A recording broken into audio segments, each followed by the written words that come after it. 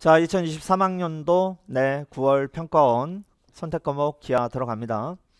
네, 전체적으로 확실히 선택 과목의 무게감이 많이 야가긴 했습니다. 그래서 뭐 하나 어, 크게 이렇게 뭔가 신선해서 매우 까다롭게 느껴지고 이런 문제는 없었던 것 같아요. 어, 그래서 좀 어, 풀만했을 텐데 다만 아마도 공통에서의 어떤 압박감이 좀 세가지고 어, 선택 과목으로 왔을 때 이미 이미 그냥 그죠 마음이 많이 상처를 받고 온 상태라서 어, 상대적으로 또 잘 안 보였다면 또 체감 난 도는 또 있었을 것 같아요. 어, 같이 한번 사실랑 문항 살펴보면서 뭐가 또 부족했고 어떤 읽기의 태도에 문제가 있었는지 같이 또 점검해 볼게요.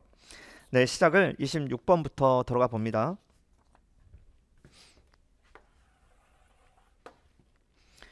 네, 좌표 평면이 점 A 3,0에 대하여 OP 빼기 OA 벡터 어? 근데 같은 벡터를 내적을 했네요. 그게 5를 만족시키는 전피가 나타내는 도형과 직선이 오직 한 점에서 만날 때 양수 K 값을 물은 거예요. 그러니까 벌써 일단 문제에 주어질 조건이 OP 빼기 OA야. 근데 같은 벡터가 반복이 됐어. 근데 내적이야. 뭐 이건 그냥 크기잖아. OP에서 OA를 빼면요. 그거 그냥 AP 벡터죠? 그냥 조건이 AP 벡터랑 자기 자신을 내적을 했대. 그럼 그냥 뭐야? 걔의 크기의 제곱인 거야. 근데 걔가 뭐래?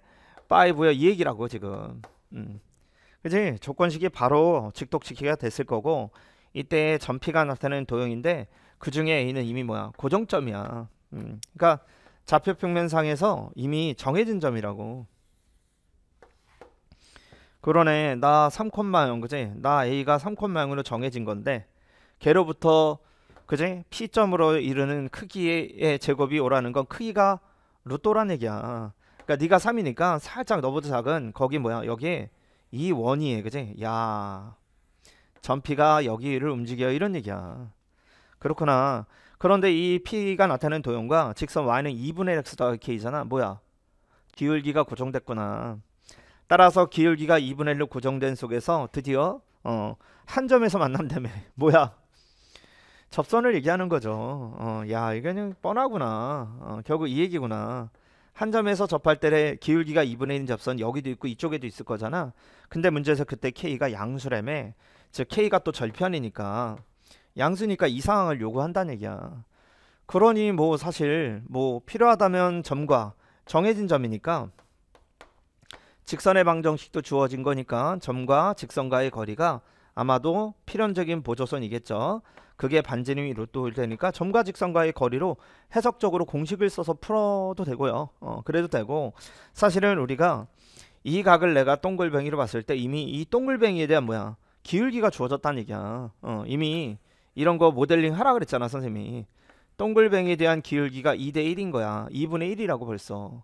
그러니까 벌써 삼각비가 다 주어진 거라는 거죠. 음, 2는 4, 1, 1은 1될 테니까. 그러니 문제에서 뭐야? 이미 우리가 원했던 건 어쨌거나 그때 K값 구하는 거니까. 그지? 따라서 이미 어, 얘에 대한 사인 값이 너분의 너인데 사인 값이 루트 5분의 1이잖아. 어, 그러니까 얘가 루트 5분의 1이 돼야 돼. 그러니까 얘가 루트 5니까 이쪽이 5란 얘기야. 그러니까 뭐야? 네가 마이란 얘기야. 전체가 5가 되는 이가 3이니까. 그지? 그러니까 뭔 얘기야? 네가 2분의 1이라며. 그래서 K가 그냥 1인 거예요. 그죠? 그래서 낭비 없이 어, 깔끔하게 문제를 푸는 게 맞겠죠. 어, 그래서 편하게 풀으면 되는 거고 물론 점과 직선과의 거리 공식도 잘한 거예요. 그죠? 어, 그것도 잘한 것 같고 역시 뭐 어렵지 않았던 문제였습니다. 그렇게 또 완료를 짓습니다.